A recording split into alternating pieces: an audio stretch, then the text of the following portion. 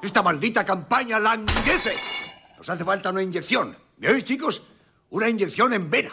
Si hubiese mañana elecciones, ese cerdo de Stokes arrasaría. Bueno, es un candidato reformista, papá. Sí. A la gente le gustan las reformas. Deberíamos proponer alguna. Yo te reformaré a ti, estúpido hijo de perra. ¿Cómo vamos a proponer una reforma si somos el gobierno? ¿Es que no se os ocurre nada mejor que eso? Una reforma. Cristo bendito, qué desastre.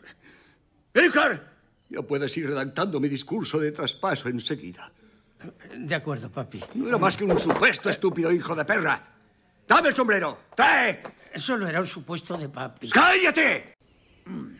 Su campaña está muy bien llevada. Un enano con escoba y tal. ¿Qué se le va a hacer? Magnífica organización. Oye, tengo una idea. ¿Qué idea, Junior?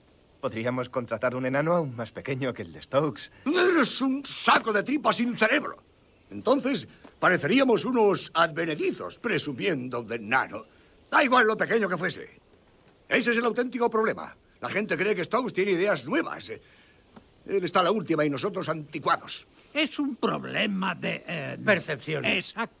Por eso nos dejan calzoncillos. Y nos dará un buen azote. No un azote, una patada bien fuerte. No, yo creo que va a ser un azote. No me parece una descripción adecuada. Pues no es así como yo lo definiría. Creo que la patada define mejor la situación.